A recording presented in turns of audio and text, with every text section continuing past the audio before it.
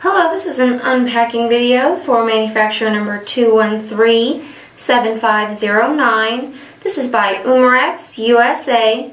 These are hyper velocity pellets for a 177 caliber and there are 200 in count.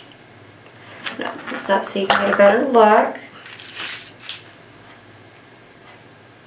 Again, these are hypervelocity pellets for a 177 caliber and there are 200 in count.